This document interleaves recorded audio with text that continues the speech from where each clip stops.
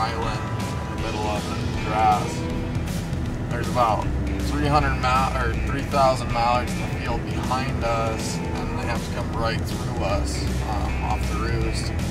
And we think that we can pull them all through traffic because they were pretty unsure on where they wanted to be because they fed in three different big groups. And so they were all trading around all day, and not a lot of guys on the fields out in this area. So try to hit them with something a little different see if we can't make some limits out of those.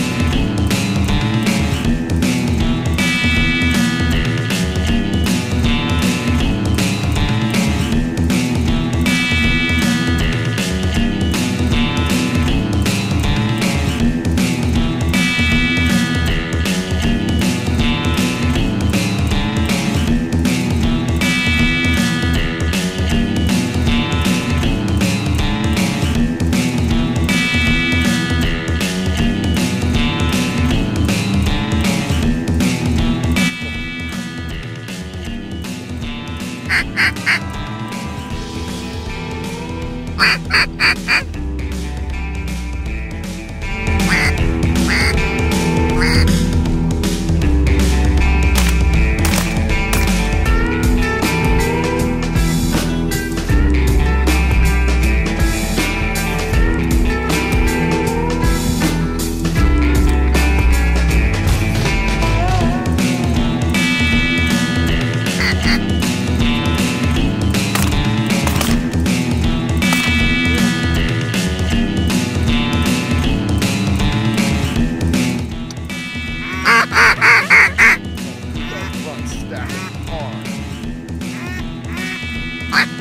Ah!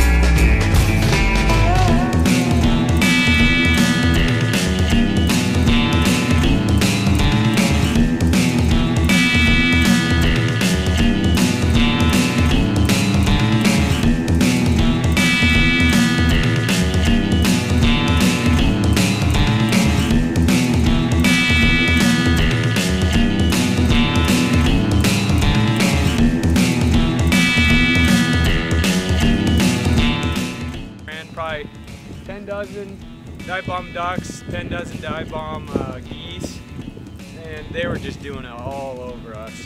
You know, they were in here before we even got fully set up, before shooting light. Were all over us when we actually got set up, and then we're picking up now, and they're still just doing it all over us. Their feeds across the road, and we pretty much just ran traffic all day, and it is snowing out here pretty hard. We got like 18 inches snow and they just disappear in the snow when they land. They just dip in, you can't even find them. But they wanted it, they were doing it and they just belly sliding in the snow right in the dive bombs and we got it done, shot our three man out here and now we're off to the next hunt.